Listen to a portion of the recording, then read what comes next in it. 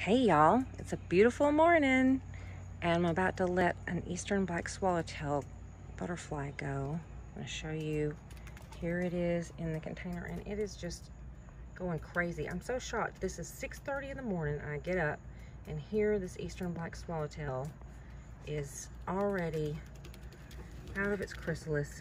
He is having a fit. Oops, oops. Okay, so usually they're not this active. So it makes me wonder if maybe I missed him and didn't see him in the container yesterday evening. So here's what I'm doing. I'm gonna let him get on my arm. Oh, well. Welcome to my garden. I'm excited about teaching y'all about growing eastern black swallowtails today. Um, I just released one and uh, it just flew up into the air and left my sight and I probably won't ever see it again. But um, I've got plenty more to show you about how to raise caterpillars, how to feed them, where to find them, and uh, how to release them. And here's a book that I love that's got information about all different kinds of butterflies. It's got good pictures and it's got great information. I've used it. I would recommend it. Um, I think I bought this probably on eBay or Amazon. Um, you, your local library might even have it. Okay, buddy. I'm about to release an eastern black swallowtail butterfly.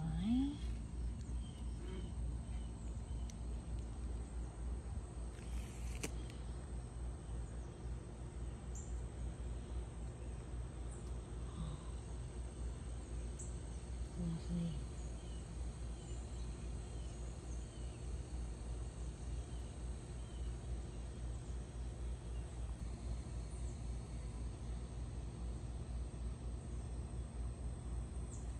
Eastern black swallowtail caterpillar turned into an eastern black swallowtail butterfly. Look at that. Gorgeous.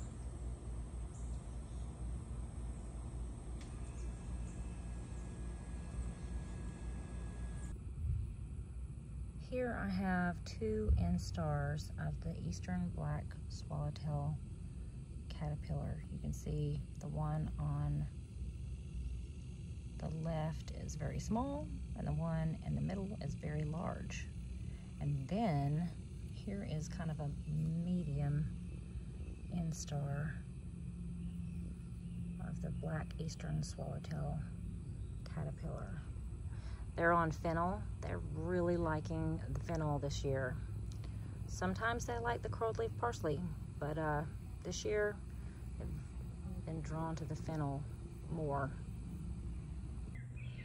So I was at Streets today shopping for plants in Fairhope and I found this curled leaf parsley that they had and it is just covered in black eastern swallowtail caterpillars. You see this guy? He is so big he is going to turn into a chrysalis probably really soon. And then see this little guy right here? See how they have like a white dot in the center? Looks kind of like bird poop. And uh, that's that's to, you know, keep from being eaten. I mean, birds don't want to eat their own poo. So they change with each instar. They look a little bit different. You can see there's a medium-sized one there this thing is just covered. But I went ahead and bought this curled leaf parsley. I didn't really need it, but I didn't want these caterpillars to get thrown away. So I brought it home. I'm gonna raise these. Eastern black swallowtail uh, caterpillars, if you irritate them, oh, see that? You see that orange thing come out? When you irritate them, they pop, that pops out and uh, they release a kind of stinky scent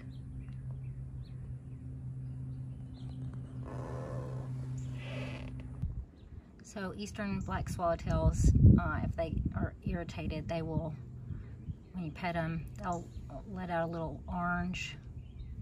See, this one guy, he's not that upset. But they'll let out these two little orange antler looking things and it's a stinky scent. Wow, he, he does not care.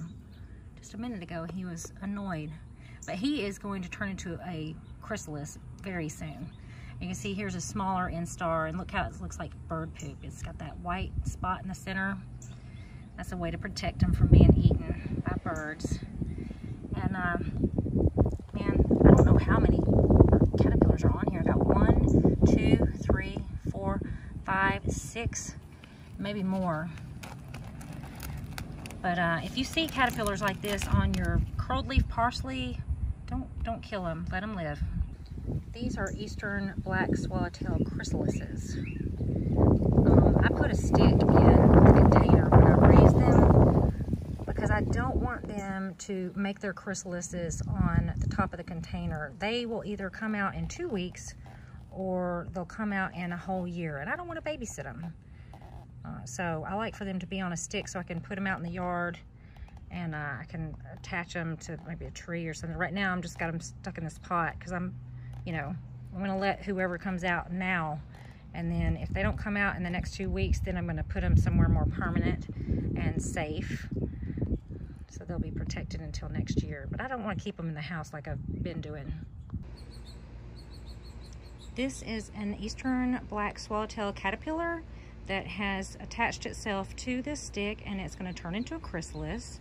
On the same stick, I have a giant swallowtail chrysalis. Is that not gorgeous? It's so wild how they can mimic whatever they're attached to. Their chrysalis turns into that color or that pattern. I don't know how they do it, but it's just a miracle. So I planted fennel actually a long time ago, probably six months ago. And thank God it starts easily from seed because I'm not very good at starting things from seed.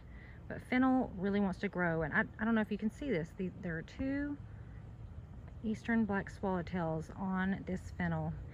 Uh, my fennel is almost spent, but what's so great about eastern black swallowtails is that you can feed them curled leaf parsley. I buy some, uh, I try to make sure it's organic from like Publix and I feed them the curled leaf parsley when I bring them in and put them in my containers because I don't I don't have enough fennel. But uh, this has really been drawing them. They've been laying eggs on it for months now. See that tiny caterpillar? It's on the uh, fennel. Whenever I find them I bring them in and I put them in a container because birds really do like to eat them and uh, one time I came home from lunch and I saw like 20 of them on my fennel. I was like, oh, yay. When I get home from work, I'm going to get them off and I'm going to put them in my container. But when I came back home from work, uh, they were all eaten up. There was not a single one left. So now when I see them, I bring them in.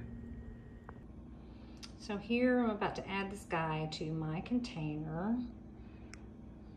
I need to clean it out. I, I um, cut fennel and I've been letting him eat that. I need to make sure that when you do get curled leaf parsley or any kind of parsley like from Publix, try to make sure that it is organic because I, I bought some recently and it may have had pesticides on it. They acted a little different than I'd ever seen them act before. Um, so I've been trying to feed them just what I'm growing in my garden. But now I've got so many caterpillars, I'm just, I'm not gonna be able to do that. I'm gonna have to buy it at Publix. So this container does need to be cleaned out. You can see there's a lot of poop down here. I mean, they just, caterpillars, they're just gonna eat and poop and eat and poop. Look at all that. Um, but one thing that I make sure that I do when I clean out um, the tank is I make sure that I gather up all the caterpillars off of the plants. And then I take the stuff that I'm cleaning out and I don't throw it in the garbage can.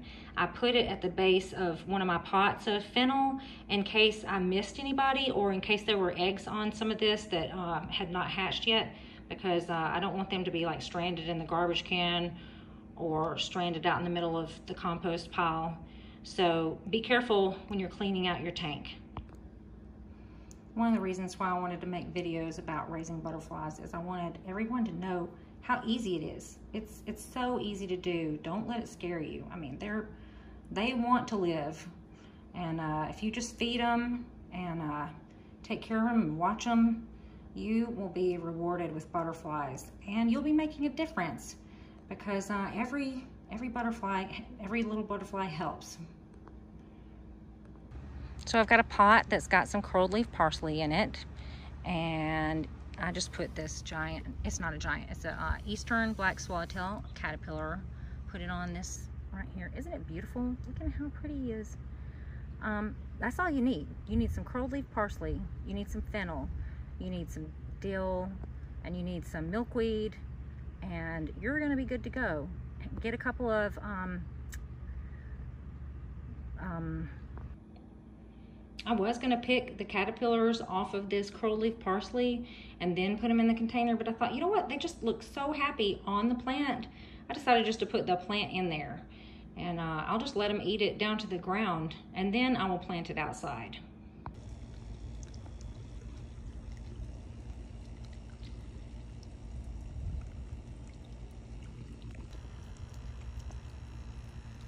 Isn't this black eastern swallowtail gorgeous? Do you see that blue? Oh, love it on the wings. Lovely. I've been raising eastern black swallowtail caterpillars for about six or seven years. I've just never seen this happen to them. For a while, I thought that maybe even eastern black swallowtail caterpillars didn't get parasites. I don't know if this is parasites or uh, if it's been poisoned, but um, I usually buy organic parsley from like Publix to feed them. And uh, these, I know for sure, have only gotten organic food. But um, my caterpillars have just been dying off one at a time. And uh, this one is, is still alive, but just barely. It's uh, very sad. And here's another one. It's uh, dead in the bottom of the cage in like a puddle of fluid. I'm gonna have to look it up and see if I can find just how to solve this mystery. I mean, that looks bad. Just looks gross. I'm just wondering if a parasite is the culprit.